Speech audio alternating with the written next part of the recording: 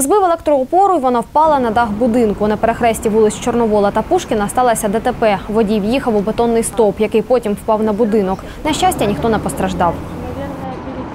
Той по главну їхав, А цей а цей ось з його не пропустив. пасажиркою таксист їхав і той того не пропустив і ударив. І а тому діватися ж нікуди і в стовп.